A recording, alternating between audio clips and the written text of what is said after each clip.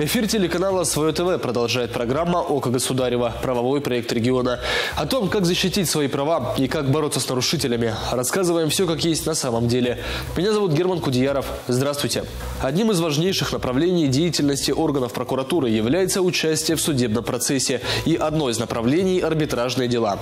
Какие полномочия предоставлены прокурорам для участия в арбитражном процессе и насколько эффективны судебные иски? Об этом мы не только поговорим сегодня в программе, но сперва о последних новостях прокуратуры края. Мужчина отправится в исправительную колонию на 8 лет за покушение на убийство знакомого. Судом установлено, что в августе текущего года на одной из улиц города Светлограда после совместного распития спиртных напитков между подсудимым и его знакомым произошла ссора. В ходе конфликта злоумышленник нанес потерпевшему один удар ножом в шею. Преступный умысел подсудимого не был доведен до конца ввиду своевременного оказания потерпевшему квалифицированной медицинской помощи. Суд назначил подсудимому наказание в виде 8 лет лишения свободы с отбыванием в исправительной колонии строгого режима. Прокурор направил в суд уголовное дело в отношении жителей региона за управление автомобилем в состоянии опьянения. По версии дознания, в мае 2022 года обвиняемый, находясь в состоянии опьянения, сел за руль транспортного средства и передвигался на нем по автомобильным дорогам Левакумского муниципального округа, после чего был остановлен сотрудниками ГИБДД и направлен на медицинское освидетельствование, от прохождения которого он отказался. Ранее злоумышленник был подвергнут административному наказанию за управление управления транспортным средством в состоянии опьянения. В настоящее время уголовное дело направлено прокурором в суд для рассмотрения по существу. Женщина проведет 9 лет в исправительной колонии за убийство знакомого. Судом установлено, что в июне текущего года подсудимая, находясь в гостях у своего знакомого, распивала с ним спиртные напитки. Во время застолья между ними произошел конфликт, в ходе которого женщина нанесла ножом удары в живот потерпевшего. От полученных телесных повреждений мужчина скончался на месте происшествия.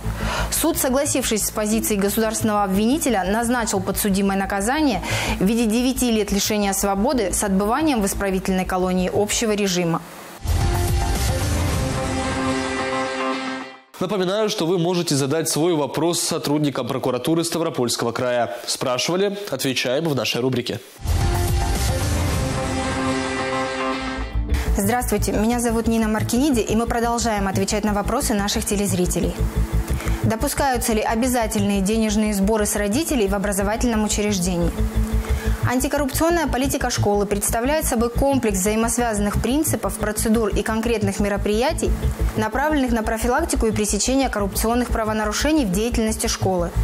Установление и взимание с родителей законных представителей обучающихся образовательных организаций платы за образовательные услуги в пределах соответствующего федерального государственного образовательного стандарта, образовательные услуги и иные мероприятия, финансовое обеспечение которых осуществляется за счет бюджетных ассигнований соответствующего бюджета Российской Федерации, прямо противоречит законодательству Российской Федерации.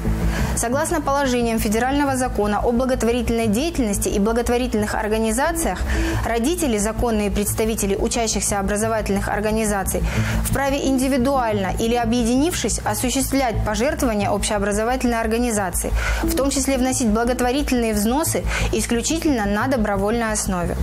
Установление обязательных денежных взносов, сборов и иных форм материальной помощи в процессе обучения в образовательном учреждении не допускается. А я прощаюсь с вами. Увидимся вновь в эфире программы в следующий четверг. Оставляйте свои вопросы на электронную почту, которую вы видите на своем экране. До свидания. У вас есть проблема? Жалуйтесь.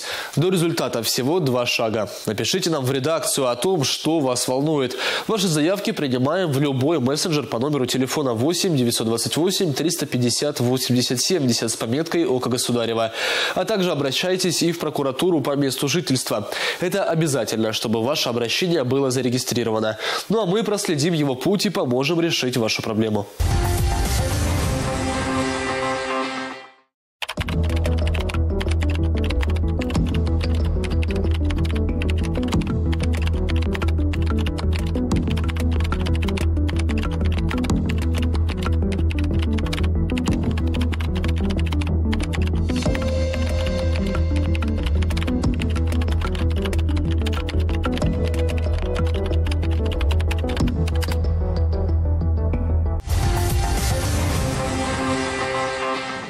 Возвращаемся в студию. Сегодня в программе «Око Государева» говорим о новых полномочиях прокурора в арбитражном процессе. И у нас в гостях прокурор отдела по обеспечению участия прокурора в гражданском и арбитражном процессах прокуратуры Ставропольского края Сидрак Тумасян. Сидрак, здравствуйте. Здравствуйте. Сидрак Тумасян. Прокурор отдела по обеспечению участия прокурора в гражданском и арбитражном процессе. Окончил Северокавказский государственный технический университет.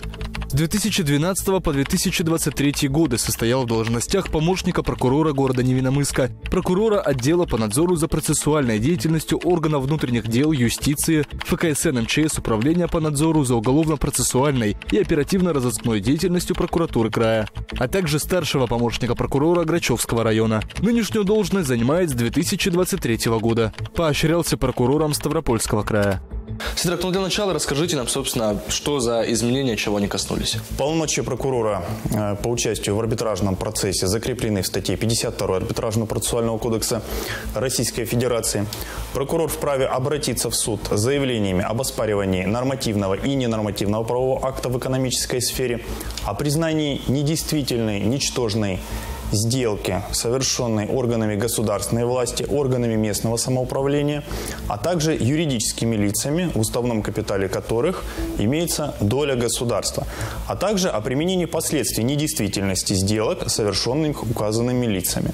Да, Седрак, ну расскажите нам а, о роли прокурора в арбитражном процессе. Одним из важнейших направлений деятельности органов прокуратуры является участие в судебных заседаниях. Помимо широко известной роли прокурора как государственного обвинителя обвинителя по уголовным делам, прокурор также участвует в рассмотрении гражданских, арбитражных и административных дел. Перед прокурорами, участвующими в арбитражном процессе, поставлены задачи защищать нарушенные права и законные интересы Российской Федерации, субъектов Российской Федерации, муниципальных образований в сфере предпринимательской или иной экономической деятельности, а также права и законные интересы лиц, осуществляющих предпринимательскую и иную экономическую деятельность, обеспечивать законность судебного разбирательства, реальное восстановление нарушенных прав и законных интересов участников экономических отношений. Ну и, собственно говоря, расскажите, что за изменения? Полномочия прокурора по участию в арбитражном процессе закреплены в статье 52 Арбитражного процессуального кодекса Российской Федерации. Прокурор вправе обратиться в суд э, с заявлением об оспаривании нормативного и ненормативного правового акта в экономической сфере.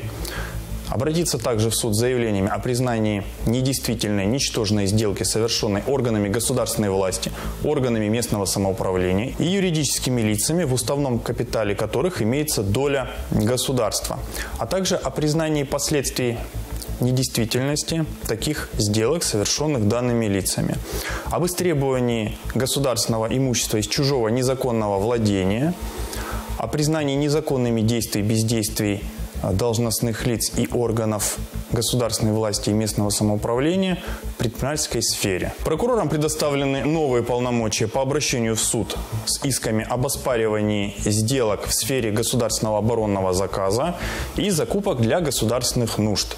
Кроме того, если... Это, это со спецоперацией связано, правильно? В том числе. Кроме того, если раньше перечень дел, по которым прокурор вступал в процесс для дачи заключения, был строго ограничен, то теперь прокурор вправе вступить э, в дела, рассматривая арбитражным судом, при рассмотрении заявлений о приведении в исполнение решений суда иностранного государства, о выдаче исполнительного документа на решение Третейского суда, о несостоятельности банкротстве, затрагивающих жилищные права граждан. Самое главное нововведение – Теперь прокурор вправе принимать участие в рассмотрении судами дел, по которым имеются основания полагать, что судебный спор инициирован в целях уклонения от исполнения обязанностей процедур, предусмотренных законодательством о противодействии легализации отмывания доходов, полученных преступным путем, а, о противодействии терроризму, налоговым законодательством и иным э, специально предусмотренным законодательством. И возник из мнимой сделки, совершенной в указанных целях. То есть фактически таким образом прокурор вправе принимать участие в рассмотрении судами дел, э, по которым имеются основания полагать, что какие-либо э, активы участников споров пытаются вывести из э, соответствующих споров, связанных с органами государственной власти. К примеру, налоговыми спорами. Ну вот из вашей практики, а, когда прокурору удавалось восстановить нарушенные права граждан и как вообще этот процесс происходит? Можно привести много примеров эффективного отстаивания прокурором интересов государства в арбитражных судах. Например, как я уже только что рассказал, активно реализуется полномочия прокурора по вступлению а, в рассматриваемые арбитражным судом процессы. Прокуратура края вступила в 55 э, таких дел. Итогом рассмотрения таких дел с участием прокуроров стало недопущение вывода земель площадью более 70 гектаров, а также пресечение уклонения от налоговых процедур на сумму э, около 140 миллионов рублей. Угу. Судами также удовлетворялись требования прокуроров о признании недействительными договоров аренды земельных участков, в том числе э, таких договоров аренды земельных участков, которые предоставлялись под объект недвижимого имущества, однако площадь земельного участка э, по таким договорам значительно превышала размер недвижимого имущества, под площадь которого предоставлялась, э, соответственно, данная часть земельного участка. Сидрак, а вот что касается уже защиты граждан, все-таки есть э, люди, которые, ну, почему-то по каким-либо причинам не совсем доверяют прокурорам, как и нам, журналистам. И вот э, вопрос все-таки, да, почему прокурорам э, все-таки доверяют не на 100%, и как вы защищаете граждан? Ну, на самом деле, э, в отличие от многих органов э, системы государства, нам как раз-таки э, больше всего доверяют, mm-hmm. потому что граждане, как бы это ни странно было, в первую очередь обращаются в органы прокуратуры, где получают соответствующее разъяснение, каким образом им защитить свои права. Что касается именно нашей деятельности в сфере э, защиты прав э, и законных интересов граждан в судебном порядке, хотелось бы обратить внимание на то, что прокуроры при обеспечении своего участия э, в гражданском арбитражном административном процессе также активно защищают права как неопределенного круга лиц угу. на э, благо предоставляемых ну, гражданам. Например, жители дома. А, да. Либо вообще в целом жители улицы, жители населенного пункта. Мы же не можем посчитать по головам, сколько человек э, по той или иной дороге проезжает, сколько человек пользуется теми или иными благами, в том числе инфраструктуры так и отдельного гражданина, но по определенным категориям. То есть мы э, выступаем в защиту прав и интересов граждан э, по защите их социальных прав, таких как трудовые, пенсионные, жилищные права, так и защищаем право каждого гражданина, если он в силу состояния здоровья, возраста, по иным уважительным причинам не может самостоятельно защищать свои права.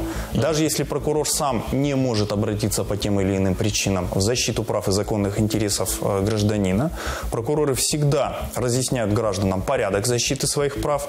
При необходимости также э, готовят проекты соответствующих документов, в том числе исковых заявлений и прочих заявлений в суд, которые граждане вправе использовать как образец для самостоятельной защиты своих прав. Сидрак, спасибо вам большое. У меня все. Спасибо. На этом наш эфир подходит к концу. Еще раз вам напоминаем, что вы можете написать нам о своей проблеме с пометкой «Око Государева» на мессенджере редакции. Номер вы видите на экране. А также не забывайте одновременно и обращаться в прокуратуру по месту жительства, чтобы ваше обращение зарегистрировали. Мы отследим его путь и поможем решить вашу проблему. Вы смотрели программу «Око Государева» – совместный проект телеканала «Свое ТВ» и прокуратуры Ставропольского края. Меня зовут Герман Кудеяров. Увидимся через неделю. Смотрите нас каждый четверг в 10.15.